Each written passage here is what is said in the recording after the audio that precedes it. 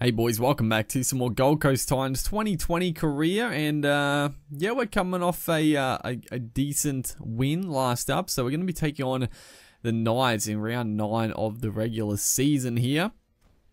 You know, it's been it's been a good year for the Titans so far. We're we're on the cusp of uh, of a top eight spot, and but you know, with the with the typical Gold Coast fashion, we've had our we've had our down runs for sure. We've looked uh, we've looked pretty ordinary at times, so hopefully we can we can find a bit of consistency here.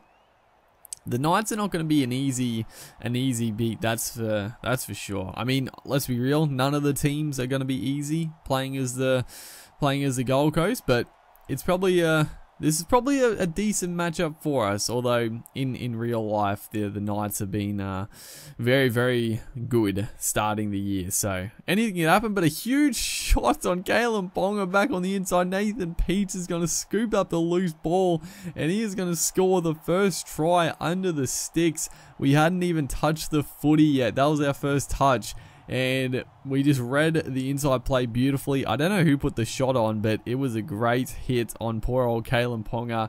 Absolutely set up for failure there, and Nathan Peats just uh, just uh, sniffing around the ruck, able to to scoop it up and and get a get a great opening try. That's uh, that's as good a start as you'll you'll ever see in a game, basically.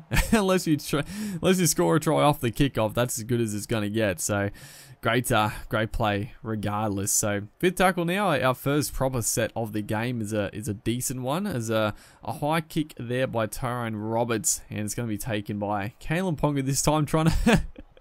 trying to get through to put another shot on him, but he's able to avoid the contact that time and and skip away. But a forward pass from our own danger zone.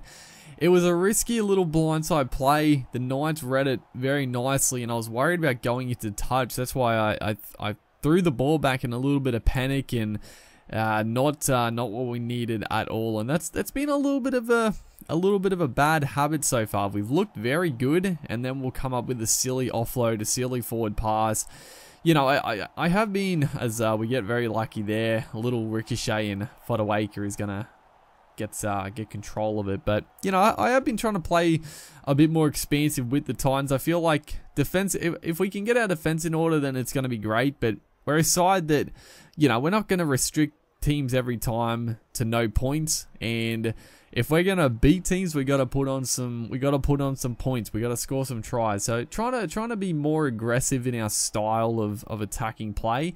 It has come undone a few times, but it's sort of the sort of been the motto. It was a great kick there, and uh, that's that's been another that's been another good element. I think Tyrone Roberts and Ash Taylor have been been pretty pretty adept with uh, the kicking game. I think it's put us in a, in a good spot. But a great offload there. Mitch Barnett now through the cap. Takes on Brimson, gets around him. But thankfully Brian Kelly able to, to come and clean up the scraps there. As going to spread out to the right here. A nice ball onto Jacob Saifiti. Another offload. They're starting to they're starting to put a few few of the big boys getting through the line here, which is not what we uh, we'd like to see before the halftime break. It's going to be fifth and last now. Got to defend this set of six. We do not want to go in with the momentum against us. But a kick, someone pick it up for God's sakes. oh, it was just, it was hanging around there. No one wanted to grab it, but thankfully we uh, survived. It's another huge hit there. Who was that? Was it Ryan James potentially? Or maybe Fotuaika put on the shot. It was uh, a fantastic hit as uh, Tyrone Roberts scoots through. I tried to put in the kick for the corner for a wing to chase, but didn't quite get the get the kick away. But nice little inside play. AJ Brimson taking them on. Probably the last play of the first half here. It would be great if we could score. Gonna look to go to right here for the field goal attempt. Ash Taylor just sprays it out to the right. Not a bad option, honestly. I uh, I was gonna go to the left, but I saw Taylor. He was he was unmarked on the right there. Decent position for the field goal and just shanked it a little bit. So not a bad option. And we're going to go into the sheds with a 6-0 lead, which I think is pretty pretty fitting. We did have the stats seem to be pretty heavily in our favor, but I don't know. I think it's been pretty uh, pretty pretty fair, honestly. Is Ash Taylor beautiful? It was a great little offload from the winger, and uh, Ash Taylor able to scoot through trying to get the pass away there, but getting wrapped up disappointingly. But fourth place, still plenty of time to, to mount the attack here. Trying to put in the little kick for the inside man, but Kalyn Ponga scoops on it. Tyrone Peachey misses the ankle tap on Kalyn Ponga, and we are not going to uh, catch the flyer.